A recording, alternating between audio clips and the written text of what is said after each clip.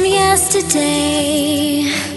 Ooh, I always wanted to feel this way. On a sky.